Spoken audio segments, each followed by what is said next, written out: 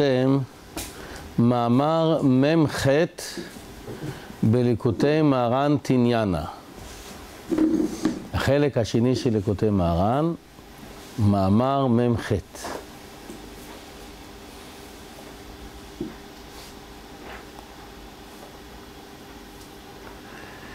כשאדם נכנס בעבודת השם, מדובר כבר על אדם שיודע מה חובתו בעולמו.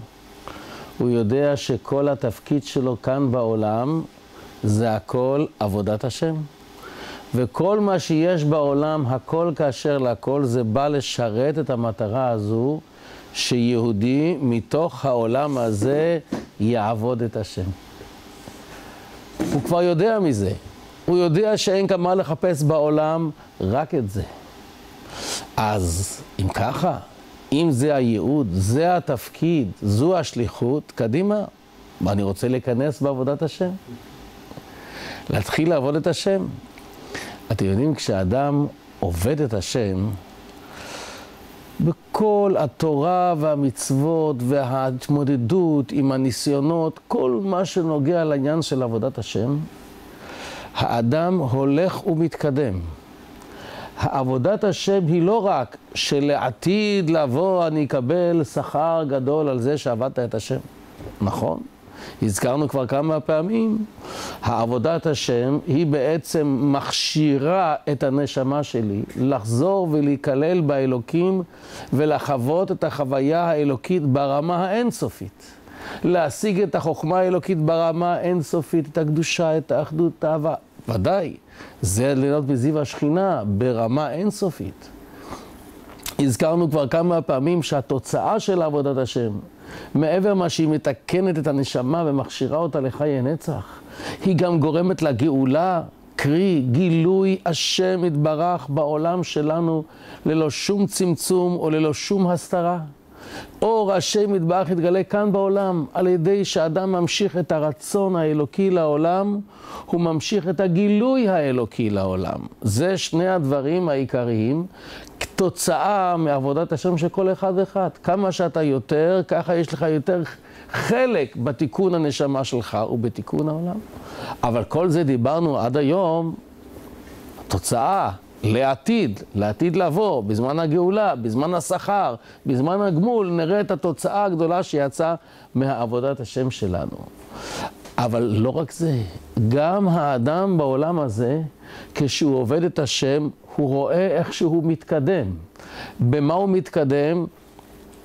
בשלבי העלייה הרוחנית, ששלבי העלייה הרוחנית מתחלקים לשני קבוצות. שתי קבוצות.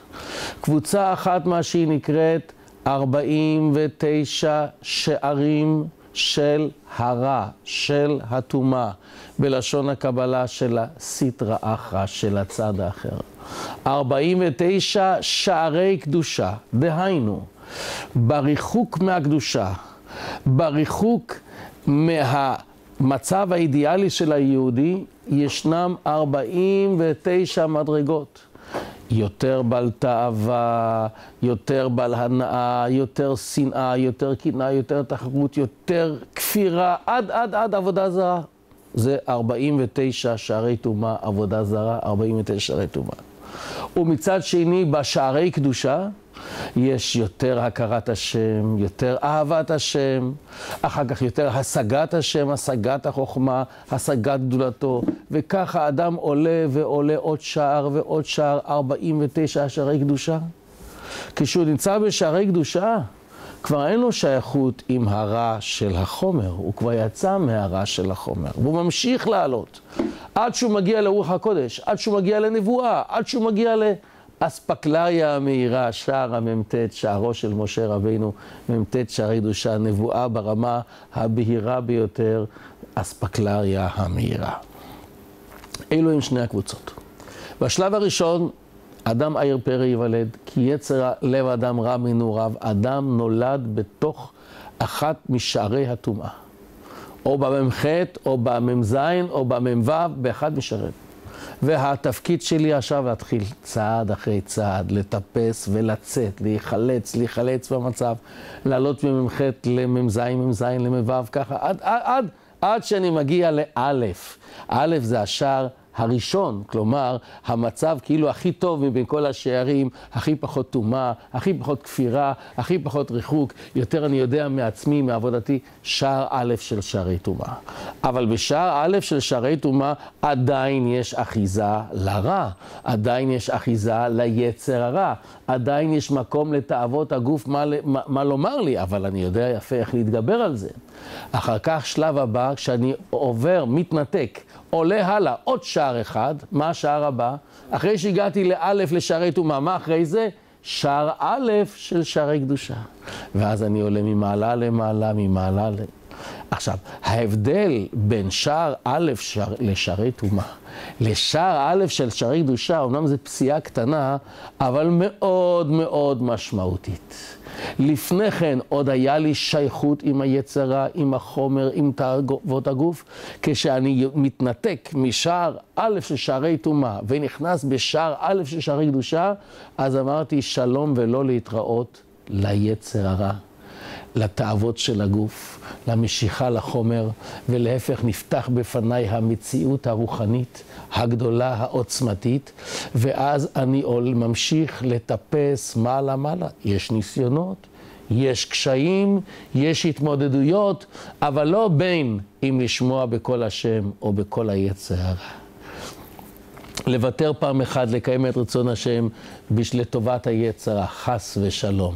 שכבר יצאתי משערי הטומאה, אבל נמצא בשערי קדושה, אין שום כוח, תאווה, כפירה, משהו מהטומאה שיכולה להשפיע על שיקולי הדעת שלי ועל ההתנהגות שלי. אלא אז הניסיון והבחירה הוא בכל רגע נתון לעשות באמת מה שהקדוש ברוך הוא מצפה ממני. באמת להתאמץ ולהתאמץ ולכוון את דעת השם, את רצון השם. להתעמק הרבה בתורה ובמצוות ולא לעשות טעויות ב... איך שאני עובד את השם בצד של הקדושה. לעשות את זה ולא לעשות, לדבר את זה ולא לדבר את זה, להתייחס לזה ולא להתייחס לזה, בכל הדברים האלה, בקדושה, בעבודת השם, שם אני צריך להתקדם ולקבל יותר בהירות, יותר עוצמה, מדרגה יותר גבוהה, בהבנת התורה, בהבנת עמקות התורה, בהתרגשות עד, עד, עד כלות הנפש לאהבת השם, בבעירה גדולה, ממש כל הלב בוער אל הקדוש. הקדוש ברוך הוא רשפיה רשפי אש שלהבת קה, ולא לתת לשום דבר להפריע להתפתחות של ההתלהבות אחרי הקדוש ברוך הוא. זה מעלות ומעלות, מה שנקרא בשערי הקדושה. כל צעד שאני הולך הוא קשה. כל צעד, אבל איך אומרים, יהדותך שווה מאמץ. שווה להתאמץ, אבל זה טעון הרבה מאמץ. כל זה, זה, זה השליחות החיים שלנו, זה עבודת החיים, זה מפעל החיים שלנו. המקום שהוא דורש את הכי הרבה מאמץ, הוא אותו הרגע שאני מתנתק מהרע ונכנס לגמרי בתוך שערי קדושה. שם, אז היצר הרע מתגבר בכל הכוחות, הוא יודע, עכשיו הוא ייפרד ממני, כבר לא יוכל יותר, יותר כבר להתעסק איתו, אז הוא את כל הכוחות שלו, הוא לוקח בשביל לעצור אותו, הוא רד, רד אחורה, רד בחזרה למטה, אל תמשיך לעלות למעלה. זה נקרא האדם נכנס בעבודת השם, והוא עכשיו צועד צעד אחרי צעד בדרך העולה כל. עכשיו רבנו בא ללמד אותנו בדיוק איך להתייחס לכל המצבים. משום שאדם שבאמת מחליט לעזוב את כל העיסוקים שלו שלא נוגעים לעבודת השם, וישנם עיסוקים חולין שאפשר לשלב אותם בעבודת השם. אני הולך לעבוד, שיהיה לי פרנסה, שאני אוכל לעבוד את השם יתברך, אני הולך לאכול, שיהיה לי כוח לעבוד את השם יתברך, אבל לעזוב את שהמקור, החיות והסיפוק שלי יהיה מהנאות העולם הזה, ושיהיה מטרה באיזשהו עיסוק מן העולם הזה. אני הולך לעזוב את כל סוגי רדיפה אחרי הנאות שונות ומשונות, אחרי כל מיני סוגי כבוד והערכה וכולי, והולך רק איך לעלות ולהתקרב לקדוש ברוך הוא.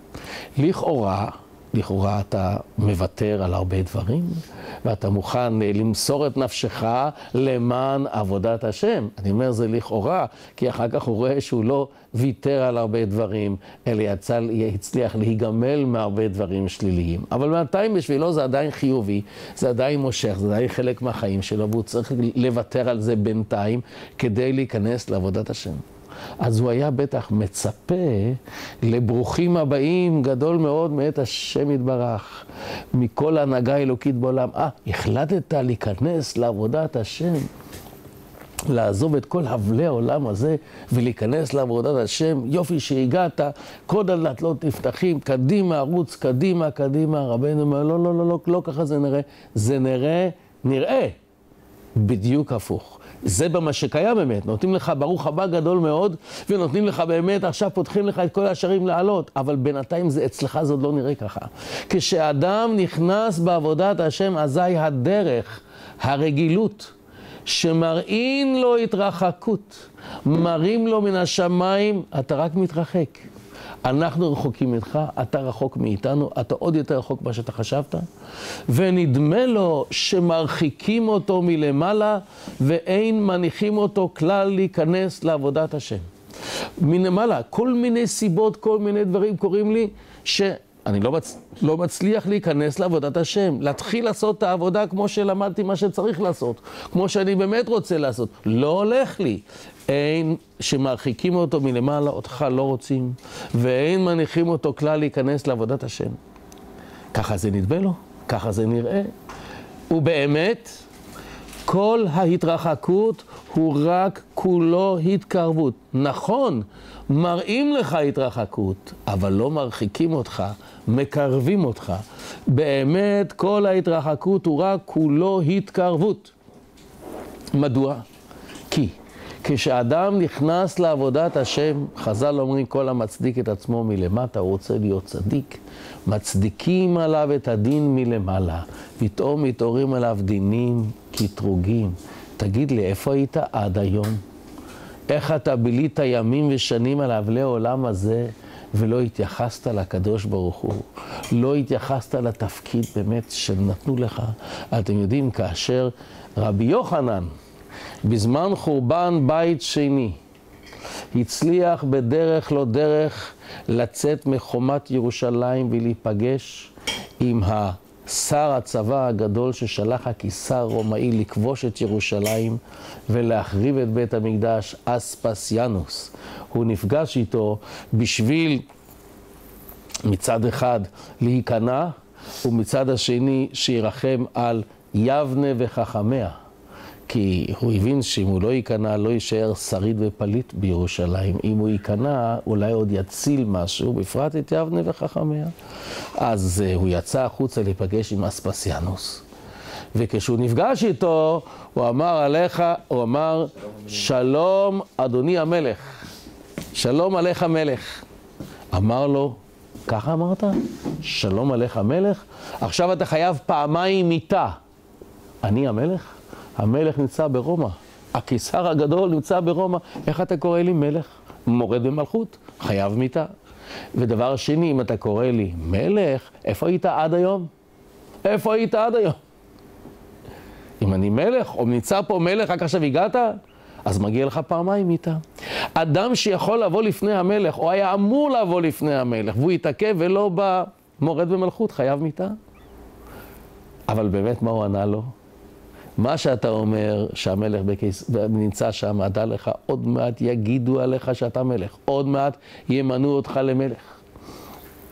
ובאמת, תוך כדי שיחה שהם שוחחו, הגיע שליח מרומא והודיע ששם, לא עכשיו, כבר לפני שבוע, שבועיים, עד שהוא הגיע, מינו אותך למלך, לקיסר במקום הקיסר הקודם.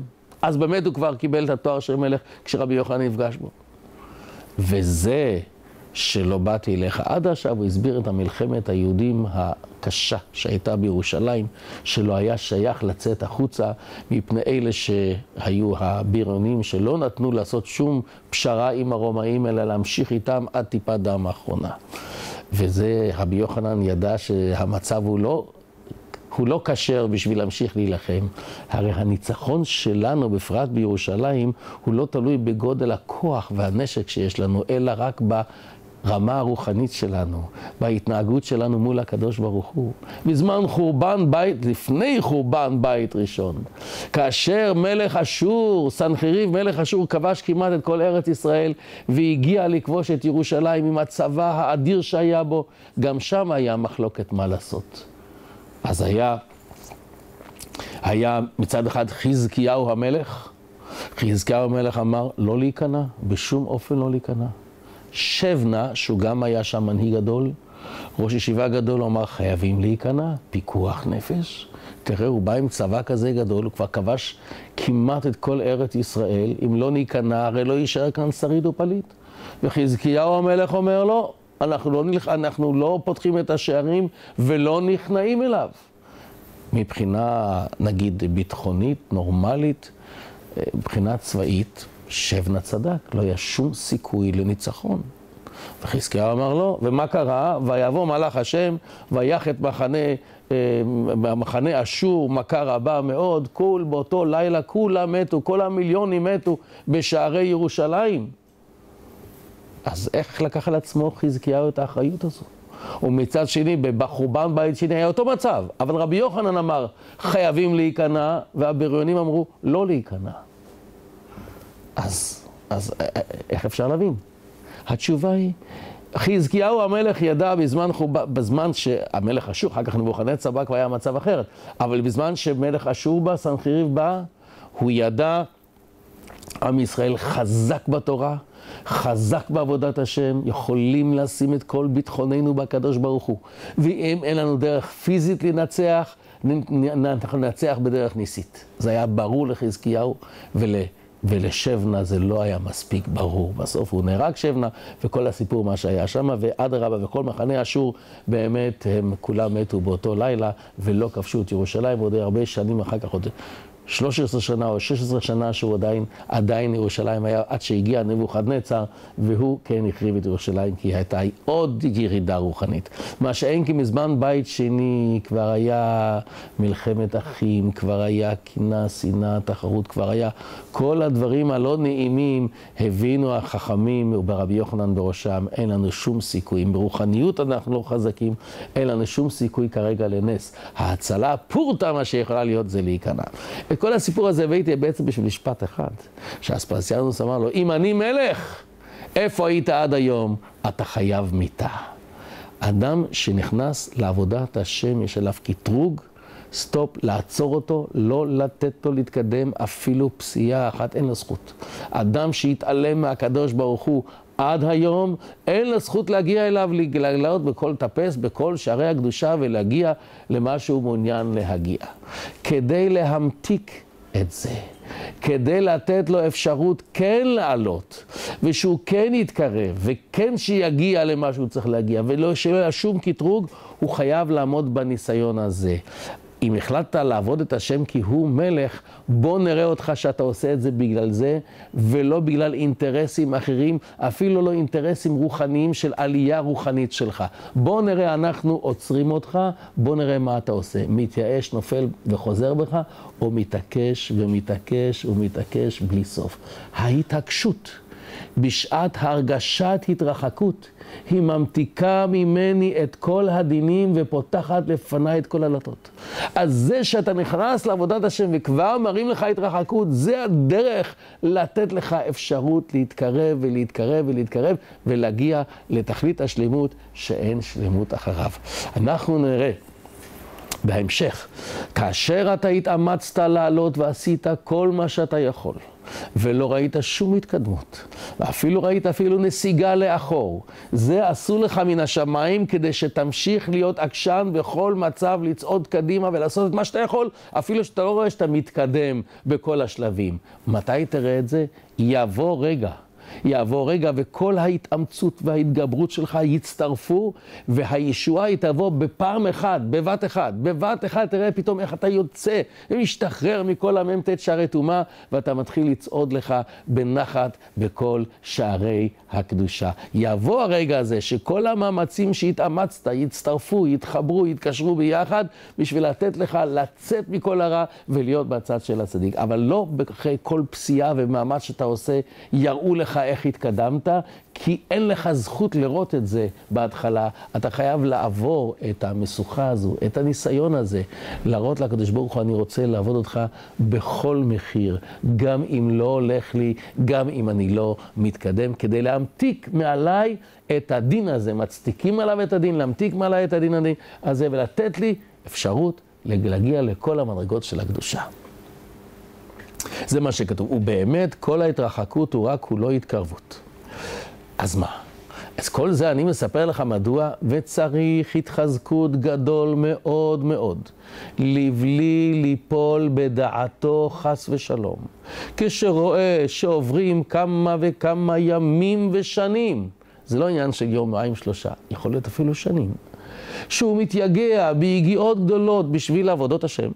ועדיין הוא רחוק מאוד, ולא התחיל כלל לקנוס לשערי הקדושה, הוא לא מרגיש שום הטבה רוחנית. לא הצליח כלל לקנוס לשערי הקדושה, כי רואה עצמו שהוא מלא עדיין עוביות וגשמיות והרהורים ובלבולים גדולים. בדרך כלל הרהורים זה הרהורי זנות, בלבולים זה בלבולי כפירה.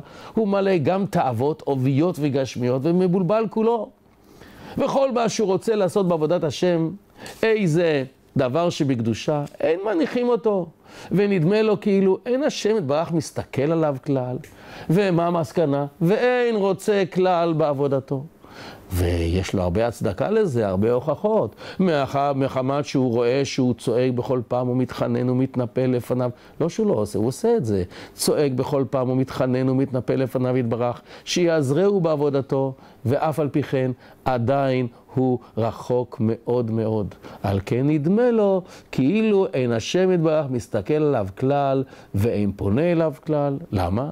כי הוא יתברך אין רוצה בו כלל.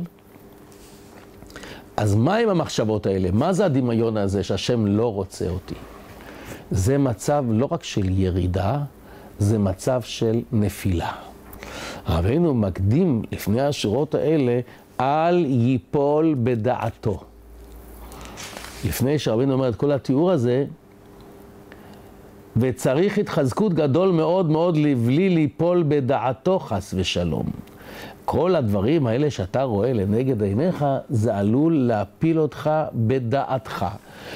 בשטח, באמת אני למטה, באמת נפלתי, לא מצליח להתקדם, רוצה לעשות עבודת השם ולא הולך. ואני לא מתקדם, אבל שלא תיפול בדעתך. מה פירוש שלא תיפול בדעתך? שלא תחשוב לרגע שאתה לא תגיע לתיקון. שלא תחשוב לרגע היות ואני לא יכול לעשות מה שאני צריך לעשות, אז אני לא צריך לעשות מה שאני יכול לעשות. זה נקרא נפילה בדעת.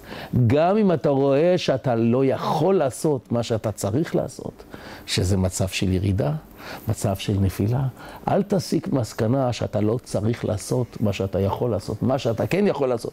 יהי שמי רבה אחת, פרוטה אחת לצדקה, לישא עיניך לשמיים, להמשיך להתאמץ ולעשות את מה שאתה כן יכול, תמשיך.